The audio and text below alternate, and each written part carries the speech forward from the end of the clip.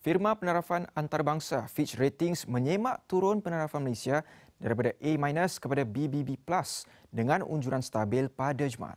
Dalam analisisnya, semakan turut turun berkenaan dibuat berdasarkan krisis COVID-19 menjejaskan beberapa metrik kredit utama Malaysia. Ia juga menyebut pihak berkuasa bertindak pantas untuk menguruskan krisis dengan menyediakan langkah bantuan kepada individu dan perniagaan terjejas.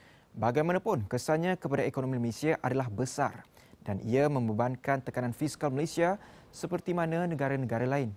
Fitch Ratings juga berpendapat walaupun belanjawan 2021 diluluskan untuk melaksanakan langkah bantuan COVID-19, ketidaktentuan politik susulan daripada perubahan dalam kerajaan pada Mac lalu memberi tekanan kepada jangkaan dasar serta prospek penambahbaikan dalam piawaian tadbir urus.